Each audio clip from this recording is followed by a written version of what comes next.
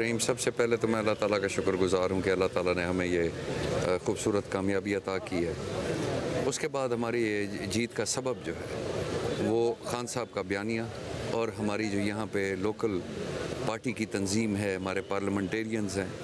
उन्होंने बहुत मेहनत की है। मैं उनका शुक्रगुजार हूँ और हम लोग सारे इसी खान साहब के बयानियों को लेके अपने हलके में फिरते रह गए हैं और हमने खान साहब ने जो कहा कि मुल्क को सुधारना है और मुल्क को सुधारने के लिए लोटे और लुटेरों से जान छुड़वानी पड़ेगी। मुझे खुशी इस बात की हो रही है कि हमारे रिवायती इलाके हैं जहाँ पे शख्सी वोट ज़्यादा होते हैं, लेकिन इस दफ़ा डेरा गाजी खान के देहाती इलाकों में,